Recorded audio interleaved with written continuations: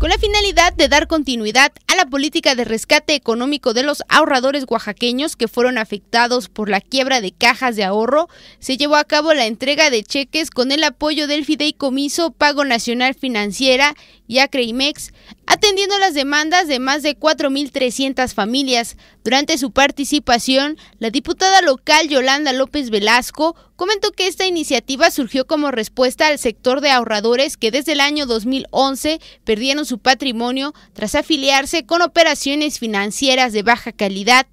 Para lograr que se siga dando el servicio de ahorro y préstamo y se cumpla, por supuesto, con el objetivo del gobierno federal de llevar los servicios financieros a los lugares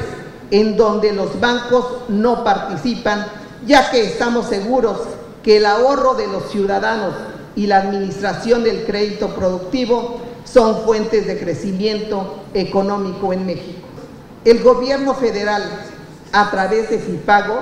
dio un apoyo por la cantidad de 31.9 millones de pesos en beneficio de más de 4.300 ahorradores oaxaqueños. Y de esta manera se resolvió de manera contundente la problemática en la solvencia financiera de estas sociedades.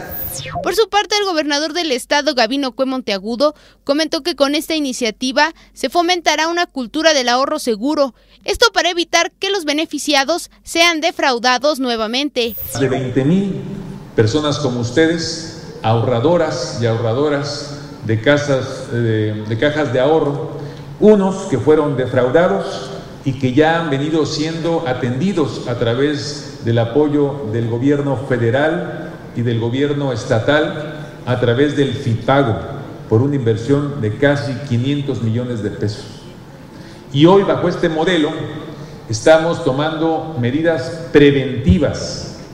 como si fuera un fenómeno natural que inevitablemente iba a cobrar, en este caso no vidas, pero iba a generar desesperanza, frustración y dolor porque estaba en riesgo y ustedes, hoy socios de Acrimes, pudiesen haber perdido sus recursos. Con imágenes de Alan Ramírez, reportó para MBM Televisión, Vicky Ramírez.